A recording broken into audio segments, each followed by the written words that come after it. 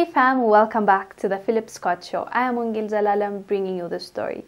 Today's story is The Bachelor Matt. I did a report on him a few months ago when he broke up with the girl that he chose, the girl that he finally proposed to, um, Rachael, because of her racist past and what she did. And he's like, Nope, I'm not dealing with you because I'm a black man. It wouldn't be right. And I was even talking about the hypocrisy because he didn't say anything until she received a backlash. Let me remind you, we'll come back. But this guy on stage told her that nope i am dumping you and the reason is because if you remember this rachael chick she was in a lot of trouble uh, because her old pictures from three years ago resurfaced. She was at a racist party, um, like uh, Old South antebellum, and so she was attending that. And there were a few pictures of her that resurfaced as well. As you saw, um, I already talked about this before, but now the story is he's back with Rachael. And they really tried to hide it. Um, the paparazzi caught them that he was wearing a hoodie mask,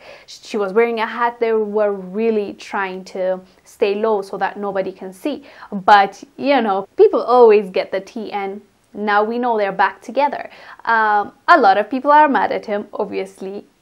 You can you, you you can understand why because he was saying how how it's unforgivable what she did. Um, she's a racist, and as a black man, he can never be with a person like that. And I kind of suspected that was not true on his part because last time when I did the video, I was saying how you are excusing her behavior until she received a backlash. That's when you decided to dump her. That so that tells me you are okay with it or you are not okay with it. She convinced you, you forgave her, and you're together. So for you to dump her in front of millions of people because you don't want to face the backlash, I think that takes away points from you. Because I kind of low-key lost respect for you. I mean, anyways, it's not like I have a, I had a whole lot of respect for you because I didn't know you. But the thing was, you threw her under the bus when people turned on her.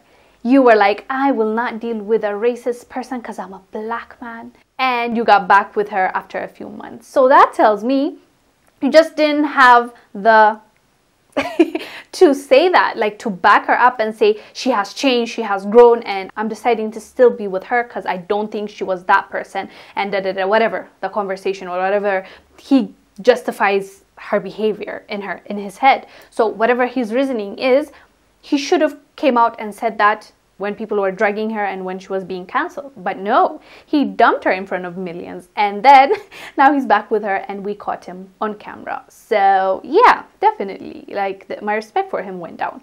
But anyways, guys, do let us know down below what your thoughts are uh, about the Bachelor Matt, what he did, and dumping her in front of millions of people, acting like he cares about the situation, the social situation that was going on, and then now getting back to her when people are starting to forget about what happened.